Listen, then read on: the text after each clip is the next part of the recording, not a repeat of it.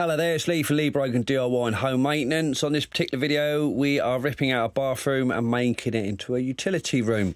Now, I've worked for this fella a few times. Um, we've got a good working relationship. So, because there were so many different jobs electrics, plumbing, floorings, plastering everything was done on a day rate. He's very relaxed, really nice guy to work for. So, day one, pull out all the bathrooms, sort out the services. Now, we put the services up on this firewall because um, we are planning to put units across there, so all the pipework and wiring is going to be nicely hidden. In addition to the obvious plastering that, you'll notice the subfloor's changed, so that was ready for the tiling to go on. We got a nice flat subfloor down that would support the tiles correctly, um, nice flexible adhesive, um, got that down whilst the plaster was drying, plenty of time. Now you'll notice we've got the units and the washing machine in. Small hiccup here.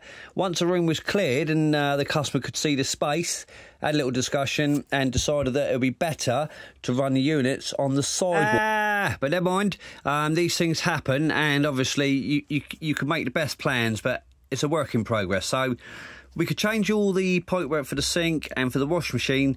Uh, the bugbear for me was it's a tiled floor now. It's tiled, it's grouted, subfloored. Um, so we couldn't change that uh, the inlet for the utility room. Also, I've got a horrible back box on the wall that was 25 mil stood out with cable tagged to the wall. Now that was fine if the units were going back along that wall, but of course now that's all changed. My own personal pride, there was no way I was going to leave wires tagged onto walls and uh, back boxes. So we uh, went back in, chased in some uh, proper boxes, put the sockets up. Uh, whilst we was there, he's um, probably going to put a washer dryer in, so we put another socket further along, all at um, knee height, so there's very little bending. Now, pleased with the job. It start to finish took us just over a week.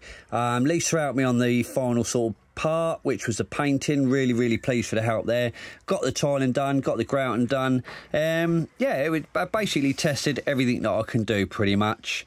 Uh, I'm happy, and uh, hopefully it will serve a purpose and make his life a lot easier. Thanks for watching. It's Lee from Lee Brogan DIY and Home Maintenance.